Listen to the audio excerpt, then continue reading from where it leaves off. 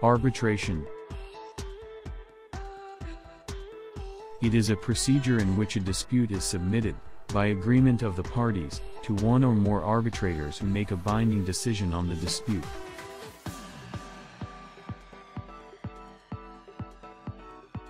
Example The dispute is going to arbitration.